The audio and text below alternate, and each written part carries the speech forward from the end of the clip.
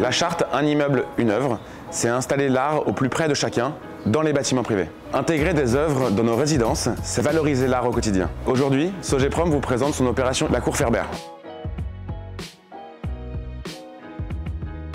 Cet ensemble immobilier d'une vingtaine de logements est situé dans le 20e arrondissement de Paris, un quartier unique, la campagne à Paris.